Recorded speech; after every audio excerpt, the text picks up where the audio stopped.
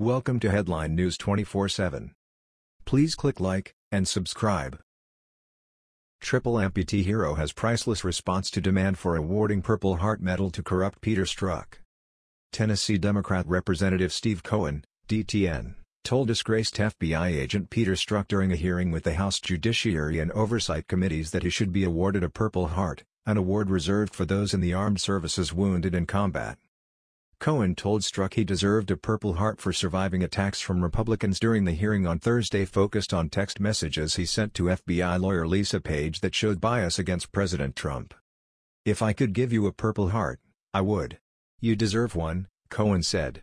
This has been an attack on you, in a way to attack Mr. Mueller, in the investigation that is to get at Russia collusion involved in our election. Air Force Senior Airman Brian Kolfage, the most severely wounded U.S. airman to survive his wounds took to social media to denounce the statements in fiery lashing against the congressman.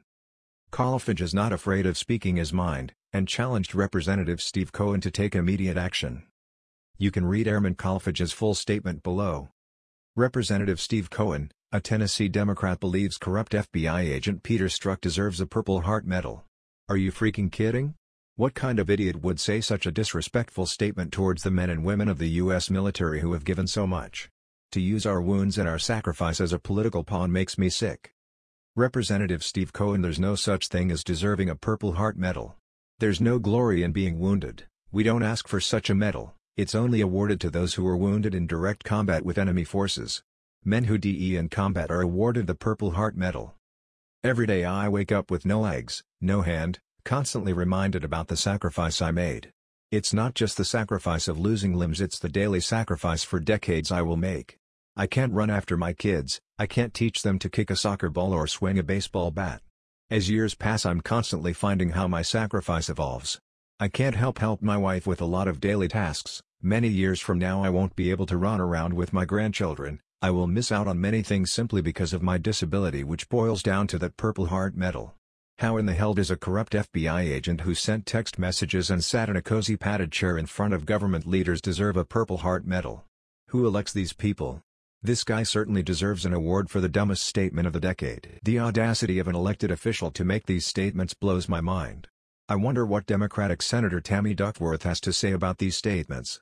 We were hospitalized and lived together in the Fisher House at Walter Reed. There's no excuse, Representative Steve Cohen must apologize to the men and women who have given the most to this nation. Representative Steve Cohen I challenge you to reach out to veterans who lost their limbs, and who were awarded a Purple Heart Medal. I challenge you to look them in the eyes and apologize. I challenge you to learn our struggles and the issues our families face because of our sacrifice.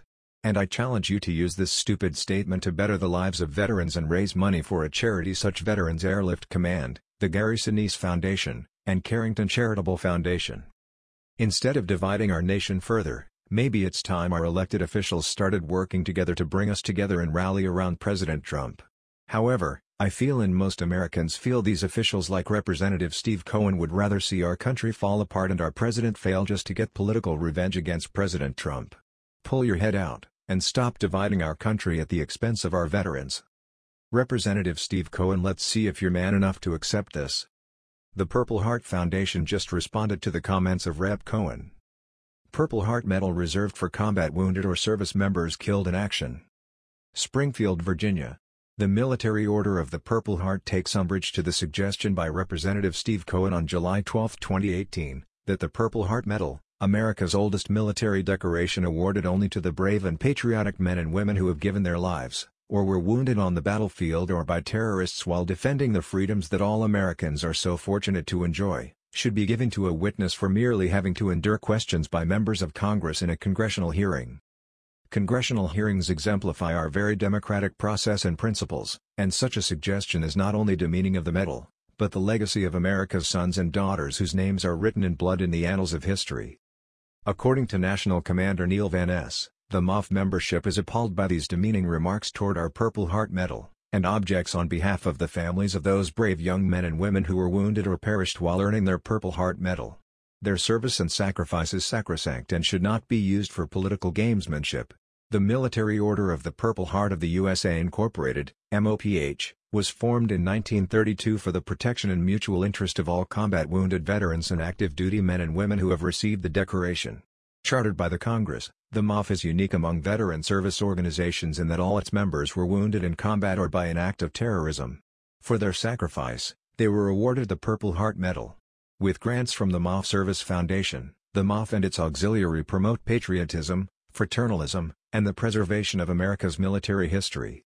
Most importantly, through veteran service officers, they provide comfort and assistance to all veterans and their families, especially those requiring claims assistance with the Virginia programs of the MOF include VA Volunteer Service, Suicide Awareness, Homeless Veterans Assistance, JOC Leadership Awards, Scholarships, Americanism, Purple Heart Trail, and Cities, Welfare, and numerous community service programs, all with the objective of service to veterans and their families. That was the news.